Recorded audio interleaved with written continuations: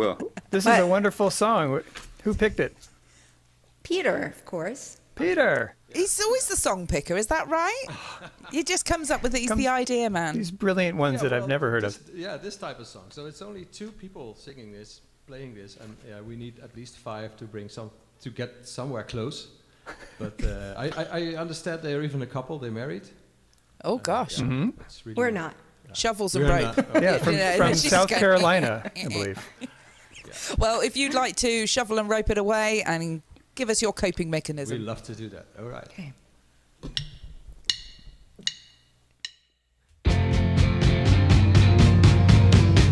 I've got to find a better coping mechanism.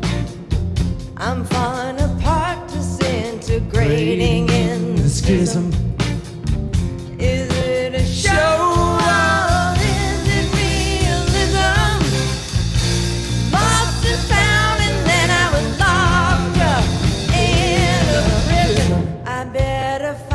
more. Suitable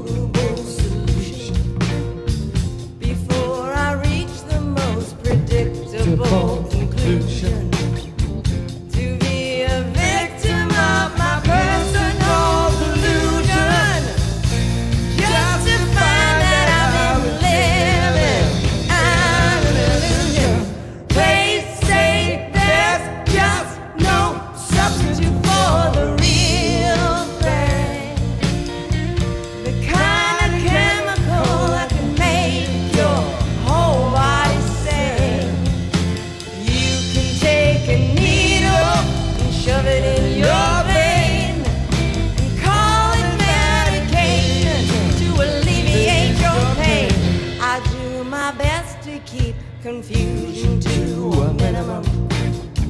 I try not to be the monster of the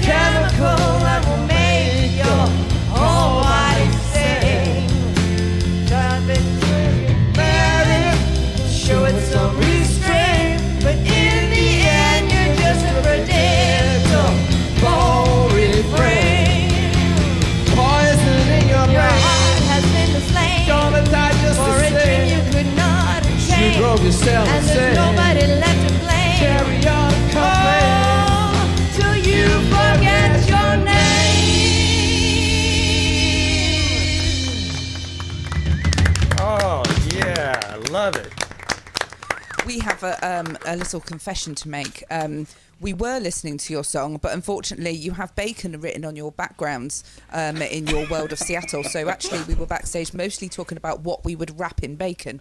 Um, and And and That would you be all right, is yeah. one of the top answers. Wow.